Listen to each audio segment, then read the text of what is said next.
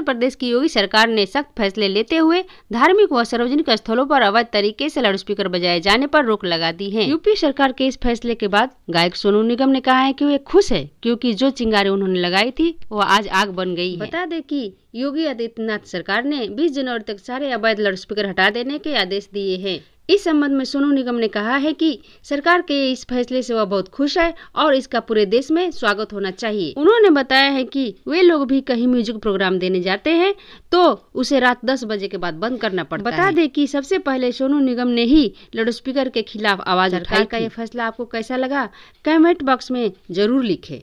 PNS news की report.